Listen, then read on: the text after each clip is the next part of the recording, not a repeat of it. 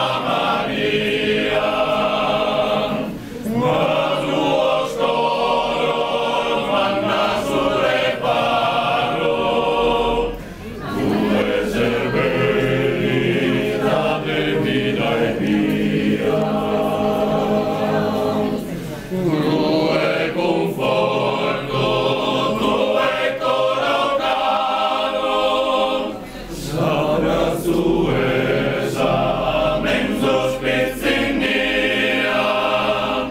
in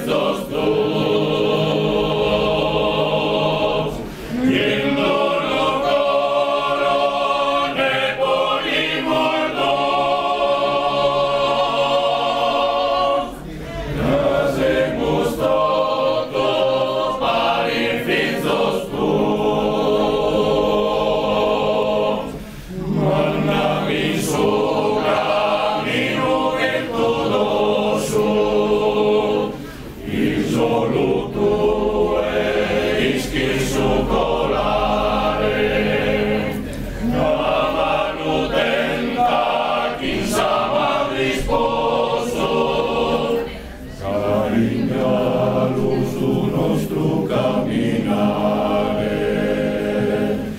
Mai poti resistit ad Ioso, amises tu in su meu pensare, pensando a Dio.